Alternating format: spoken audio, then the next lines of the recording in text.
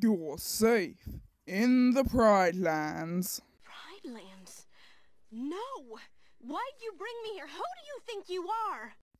I think I'm the one who just saved your life. I had everything under control.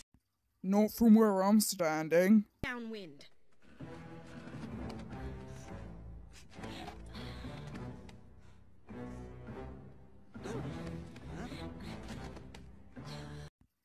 What are you doing? Kovu?